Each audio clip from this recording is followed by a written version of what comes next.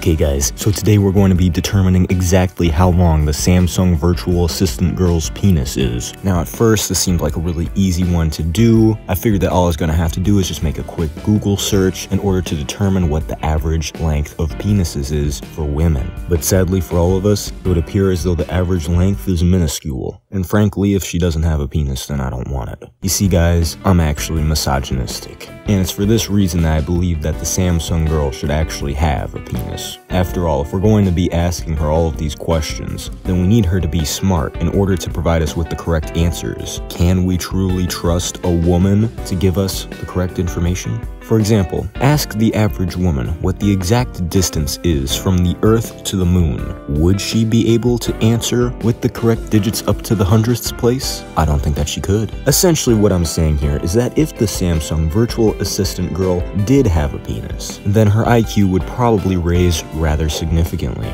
Now, whoa, whoa, whoa, don't get me wrong here, okay? I'm the first one to admit that I'm misogynistic, and here's why that's a good thing.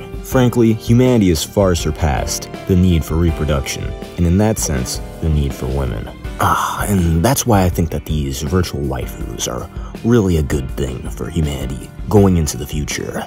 Uh, those of us anime watchers have far surpassed the male hierarchy. You could say that we live outside of it, but not only outside of it, outside outside of it. Some people like to call themselves Sigma males. I call myself a Ligma male. After all, why should us male men have to listen to women, have to deal with them on a daily basis, even inside of our phones? Really, I think that the Samsung virtual assistant girl should actually just be a cute femboy. But no, instead Samsung has chosen to include a inferior creature within my phone.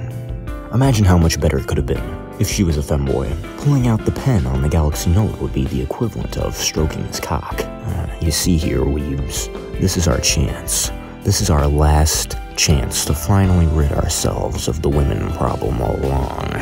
Frankly, I don't even care if this is just a ploy for us to buy Samsung phones anymore. This represents far more than that. This is the end of an era, the end of a gender, and the end of half of the population of humanity. So you know what, Samsung Virtual Assistant Girl, also known by the name of Sam? In spite of your being female, I do thank you for what you've done for this world, as you've allowed us to take the next step, and hopefully your next update will be completely male.